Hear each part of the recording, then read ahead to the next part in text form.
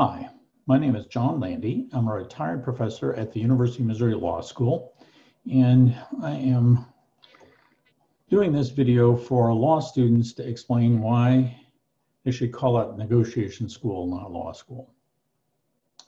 So I'm going to talk about the wrong end of the telescope view in legal education, why law schools focus on only a small part of legal practice and miss the larger part.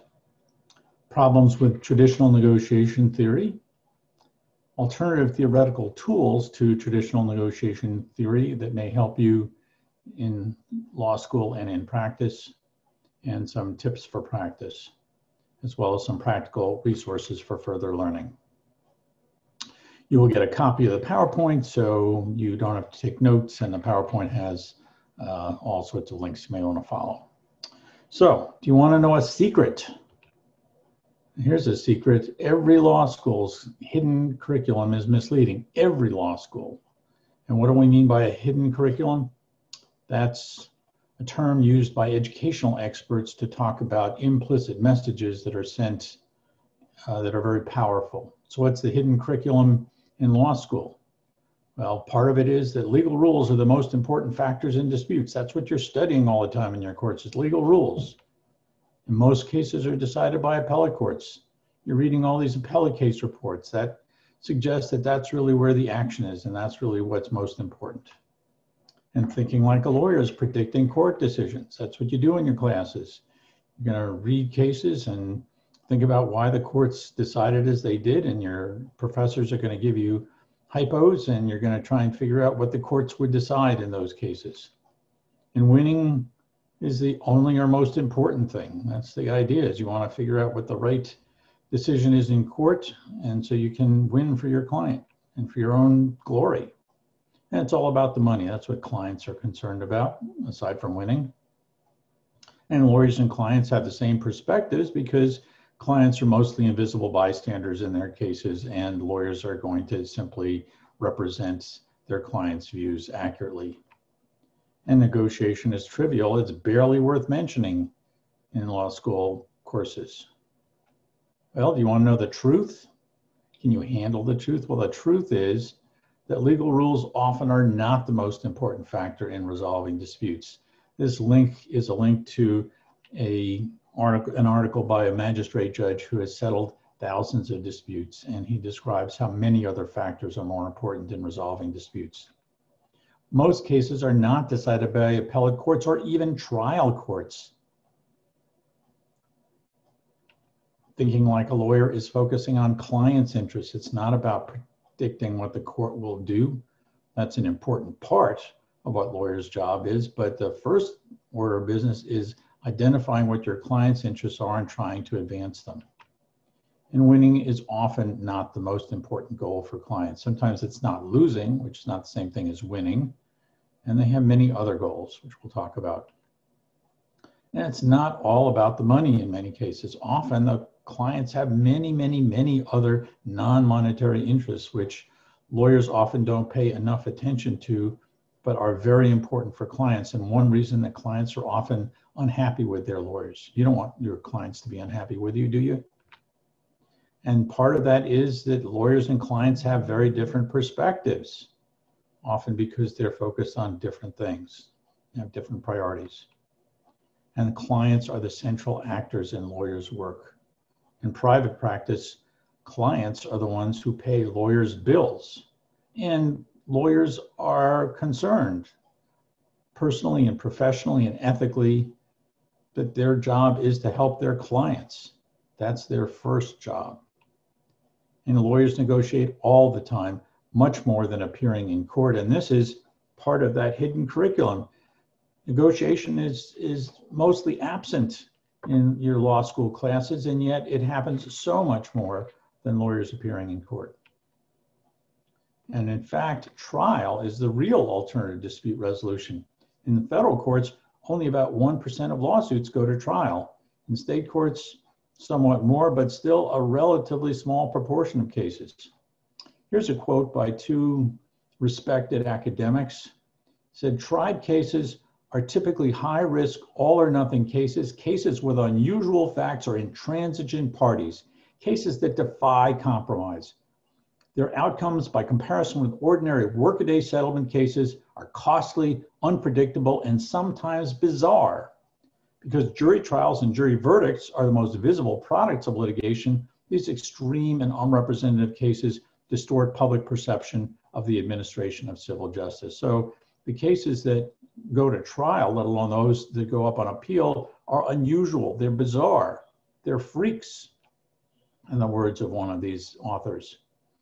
And only a fraction of tried cases are appealed, and of those, only a fraction of those are decided with a written opinion. So, what you are focusing on in your law school classes is a very unrepresentative part of the legal justice system. So why do I tell you all this and how can you use this information? It provides context and it can help you navigate through your law school classes. You should recognize that litigation is essential. It provides many, many, many valuable functions in our society, starting with structuring democracy and protecting rights and uh, enabling transactions, but it's also very problematic.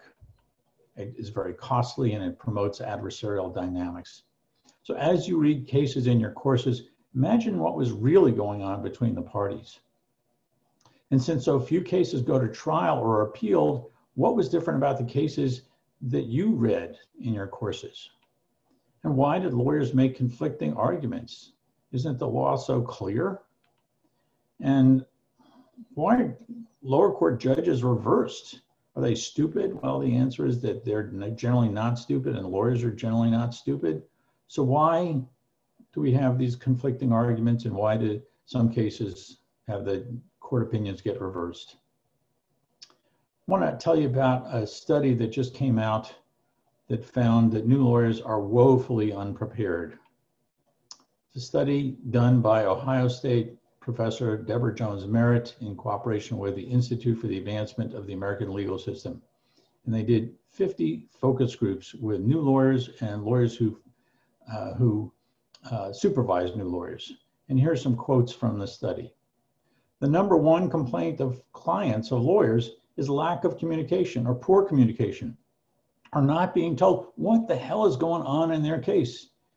And this is a major source of disciplinary complaints about clients. So when you are in practice, be sure to communicate well with your clients. Um, this you have, it's your ethical duty and it's in your self-interest. Another lawyer said, somebody can know the black letter law inside and out, and then on their first day on the job, they're sitting in front of somebody who's incredibly worried, incredibly anxious, and you have no clue what to do. Your law school classes generally don't teach you about this, but this is really important. Now, the lawyer said, sometimes we don't ask the client, well, what does victory look like? What's your goal here? This is a central aspect of lawyers' job is to identify what the client's objectives are and to do your best to try and advance them. A lawyer who supervised new lawyers said failure to understand the big picture created difficulty developing strategies to guide client matters. These new lawyers knew the rules, but they didn't know how to combine the rules into a successful strategy.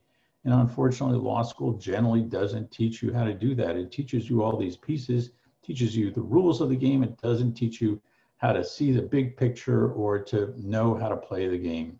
I don't mean game in a trivial way, but know how to work in the system. And the study recommends that students take three credits to develop the ability to work with clients and three credits to develop no negotiation skills. So what is negotiation? Lots of different definitions, no consensus. My definition is it's a process of seeking agreement about a course of action. And unlike some definitions, this doesn't require that there's been a dispute. I mean, there are negotiations over developing deals and transactions doesn't require that there's necessarily an exchange of offers, that there's legal consideration or quid pro quo that you learn about in contracts, doesn't require the goal of forming a legal contract. And instead of using these elements in a definition, you can use them to describe different negotiations. You can describe those negotiations that are about disputes or transactions, or those negotiations that involve an exchange of offers or that don't, those negotiations that involve legal consideration or don't. And lawyers negotiate in every type of practice.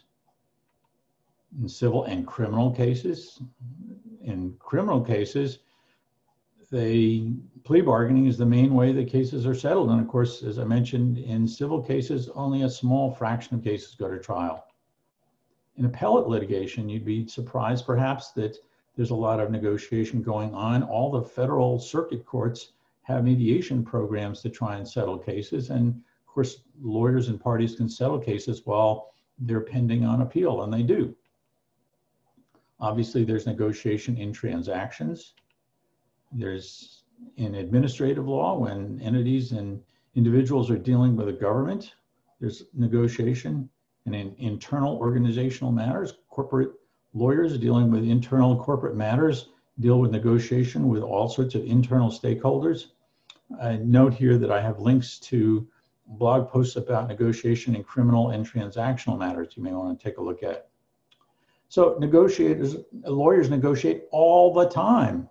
And people often think of negotiation only as a process with a counterpart lawyer at the final stage of a, of a case, but that's a very small fraction. In fact, lawyers also negotiate throughout cases with clients, with supervisors, with coworkers, with experts, with court reporters, with private dispute resolution professionals, and even with judges.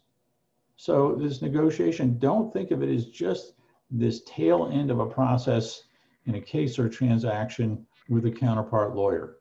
So let me give you some examples. Lawyers negotiate with clients about fee arrangements and the scope of their work. Lawyers negotiate with counterpart lawyers all the time about extension of deadlines or res resolution of discovery disputes. Lawyers negotiate with supervisors about what arguments to include in a brief. They negotiate with coworkers about what to order for lunch, with experts about the content of opinion letters, with court reporters about scheduling, with mediators about what materials to provide for mediation, and even with judges about discovery schedules. So lawyers negotiate all the time with lots of different people. So here's a link with more examples of negotiation. Now here's where I'm going to tell you about the traditional negotiation models which are problematic. There are two main models in traditional negotiation theory, which is very confusing and misleading, and they go by different names. Um, two of the names are serial positional, sometimes called distributive negotiation. This is where parties try and maximize advantage, starting with extreme positions. So each side starts with an extreme position. A plaintiff may ask for a million dollars, the defendant may offer $10,000 and then they make a series of concessions back and forth trying to get the most favorable uh, agreement for themselves. A second approach is a cooperative or interest-based or integrative negotiation where parties try to satisfy all parties by identifying the interests of all parties and then identifying options for satisfying parties' interests and then trying to come up with a solution that's going to satisfy everybody's interests. Now there's a missing model that doesn't show up in traditional negotiation theory. It ignores the most common pattern, or a, uh, a very common pattern, and probably the most common pattern, which I call ordinary legal negotiation or norm based negotiation.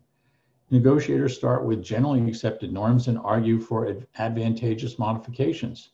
So in criminal law, this is the normal way to plea bargain. There's a standard deal or going rates the prosecutors and defense counsel or experienced know what those standard deals are. Those are the starting points for negotiation, and the lawyers will try and negotiate up or down based on uh, aggravating or mitigating circumstances.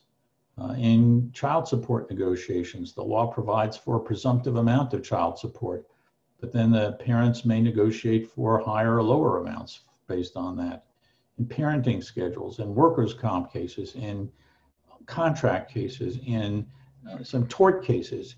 This model, starting with these norms, what the standard deals are, what the going rates are, this is the starting point for negotiation. And it's one of the ways that people negotiate. And so here's a, a link with more information about these negotiation models, as well as the variables discussed in this very slide. So negotiation models assume that key variables are bundled together. And my research shows that that's often not so. And instead of models, I suggest that people focus on the variables that comprise the models. So for example, some models vary about whether the parties are concerned about the other side's interests. In some cases they are, in some cases they aren't. Whether they use counteroffers or some other process to negotiate. Whether they seek to create value or claim value. That is, whether they're looking for something where both sides are better off or whether it's a zero sum where each side assumes that one person's gain is the other's loss. Do they use a hostile or friendly tone? Do they try and use power to get their way? Do they use law or other norms as a basis for argument? So you can unbundle these models and mix and match uh, these variables, which vary over time. So not only do you not have these bundled models that describe entire negotiations, but you have these variables that themselves will vary over time in a given case. So my co-authors and I wrote this book called Litigation Interest and Risk Assessment, Help Your Clients Make Good Litigation Decisions. It, is, it develops a three-part structure to develop the bottom line for settlement.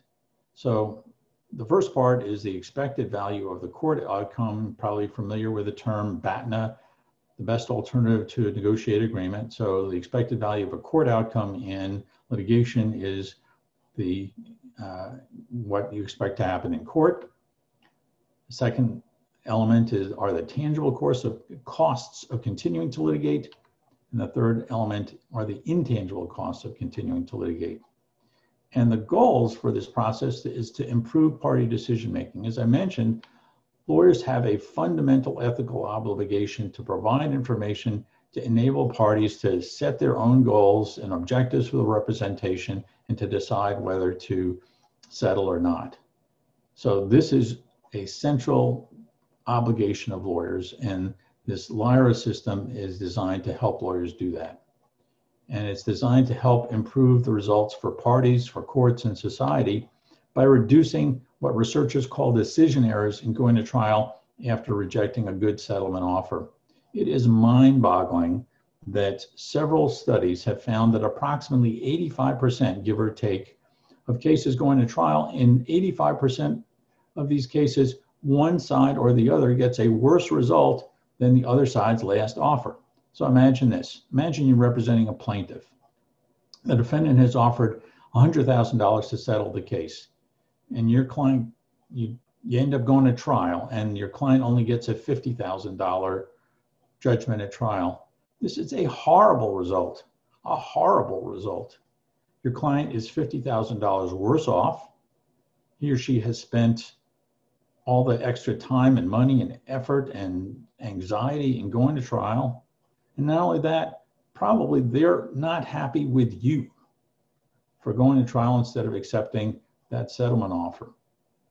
And this is true also for defendants. They may have gotten a demand for $100,000 and they may find that they're facing a judgment of a million dollars. And although defendants um, make these decision errors less frequently than plaintiffs, according to this research, when they do, they're doozies. And the average amount of the error is over a million dollars. And one of the problems with these uh, decision errors is that they are costly to uh, courts, which have very limited resources, and courts are very important elements of society. So, avoiding these bad decisions, these wasteful trials, is an important part of what this LIRA system is designed to do. And part of that is by reducing tangible and intangible costs of litigation. So, what are some of the common sources of conflict? About relationships. People aren't getting along and they decide they're going to fight over something that if they were getting along, they wouldn't fight about. They don't trust each other. Poor communication. They're afraid of looking weak and losing, losing face, losing money. They're concerned about setting precedents. Lawyers sometimes want to perform for clients and increase fees, and that perpetuates conflict or increases or stimulates conflict. And sometimes people have unrealistic expectations about the trial outcome. Often people focus on this last one, the unrealistic expectations about the trial outcome, as if that's the only or main source of conflict. And sometimes it is, but often it isn't. And you should not assume that it necessarily is.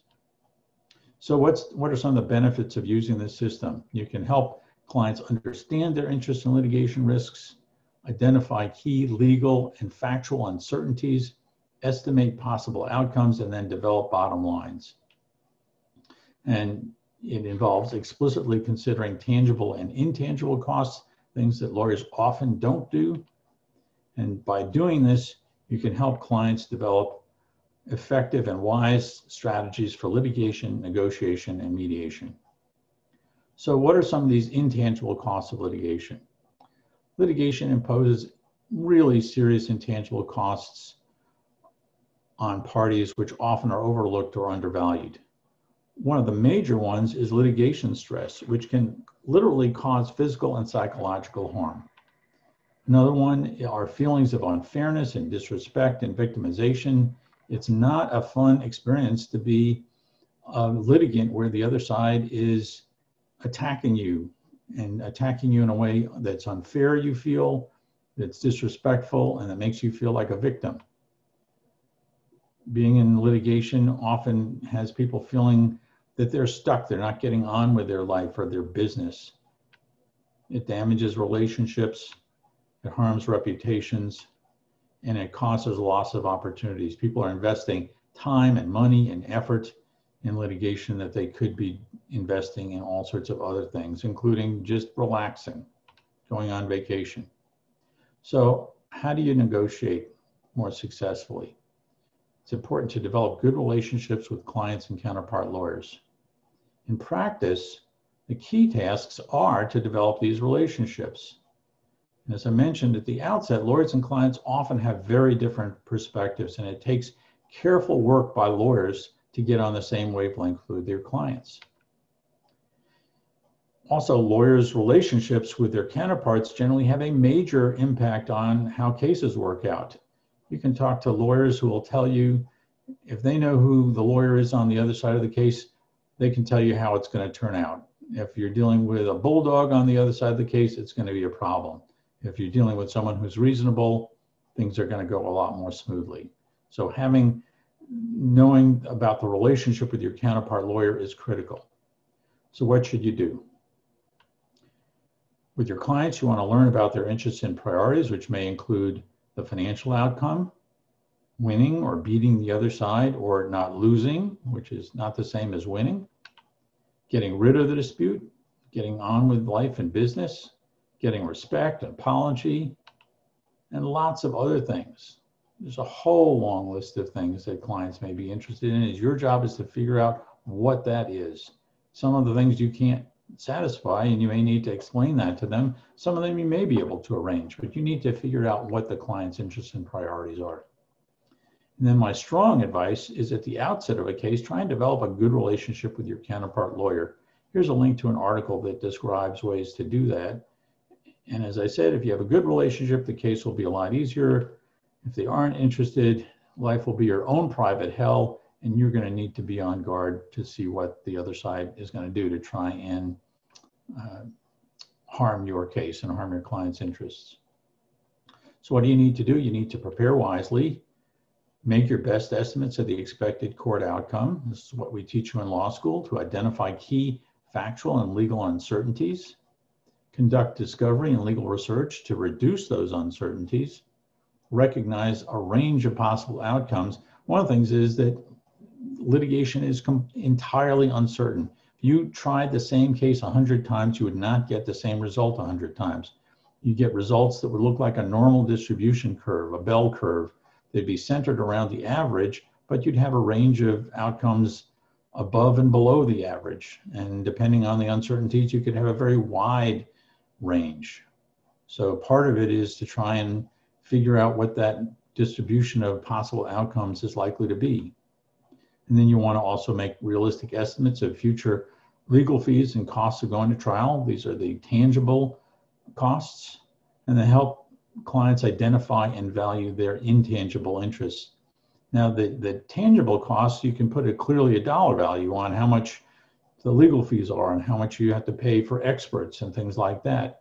The intangible interests, such as how much stress is worth or how much vindication is worth or all sorts of other things, are inherently subjective and there is no objective measure and your job is to help your clients put their own value on it. So getting an apology may be worth a certain amount for one party and another amount for another party. So your job is to help figure out and help your clients figure out what these interests are worth to them. And then develop a bottom line by incorporating all of these things the expected court outcome and the anticipated tangible and intangible costs. So, for example, if you have uh, expect a you're representing a plaintiff and you expect a hundred thousand dollar uh, is the is the expected court outcome, and you value or your client values the tangible and intangible costs at twenty thousand dollars, then their bottom line would be eighty thousand dollars. They would be better off by accepting anything over eighty thousand dollars um, to settle because they value their tangible and intangible costs as $20,000. And based on all this, you develop your negotiation strategy considering the negotiation models and especially the variables that I described earlier. Now, in the new normal after the COVID pandemic, people are going to continue to use video even after they feel safe in meeting, meeting in person. So you'll be using video, which at this point you're probably already familiar with. And indeed, the fact that you're watching this is a reflection of that. Professionals and many lay people will be comfortable with using video and appreciate its efficiency. Part of your job as lawyers, you'll need patience in dealing with communication problems and extra time, especially time to talk with clients and deal with technology problems. And one of the things you can do is break negotiation and mediation into stages because you don't have to worry about the hassle and time and logistics of travel. It's easier to do that to break the process into stages. So you're going to maybe in competitions in law school. What should you do? Your goal always is to protect your client's interests often there's a suggestion that you should try and be cooperative in negotiation and mediation. Indeed, you often should, but only in the interest of protecting your client's interests. Cooperation is a means to an end, it's not the end in itself. The end in itself is protecting your client's interests. Recognize that judges have different philosophies, so you may learn in your course about these different models and approaches to mediation, and you can't assume that any given judge will have one philosophy or another so your goal is to try and achieve the goals of multiple models. In particular, I suggest using a tit for tat approach, start off cooperatively, and then mirror the counterpart's responses, either cooperative or adversarial. If you start off cooperatively and the other side is cooperative, continue being cooperative.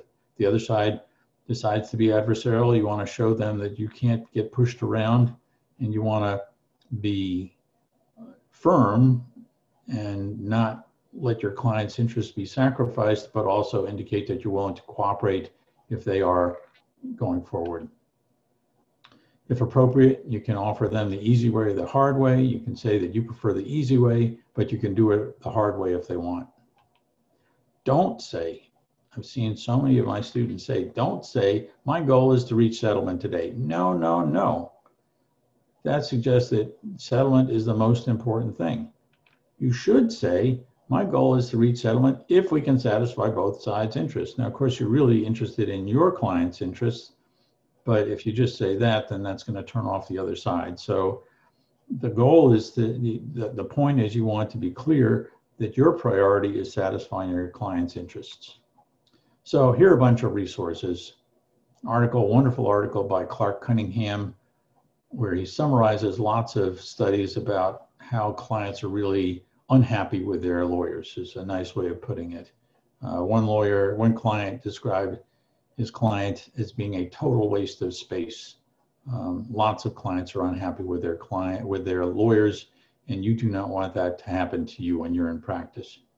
Great book by Marjorie Corman Aaron called Client Science Advice for, Advice for Lawyers and Counseling Clients Through Bad News and Other Realities. The bad news is that you're going to have to give bad news to clients a lot, and that's hard and it's not fun. And this book gives advice based on empirical research about how to do that most effectively. Next is an article that I wrote about good pretrial lawyering, planning to get to yes sooner, cheaper, and better. And it's based on interviews I did with uh, lawyers about cases they recently settled. Another article I wrote is some general advice, my last lecture. I wrote a book entitled Lawyering with Planned Early Negotiation How You Can Get Good Results for Clients and Make Money, two major interests of lawyers. And then here are some posts um, about LIRA and the Indisputably blog, and then my email if you want to email me or talk by Zoom. Finally, let me just mention you can join the ABA for free. You can click here to join the law student division. And not only can you join the ABA for free, but you can join several sections for free, which enables you to get publications and resources at a discount, as well as valuable networking opportunities. I've been part of the section of dispute resolution for a long time, which is terrific.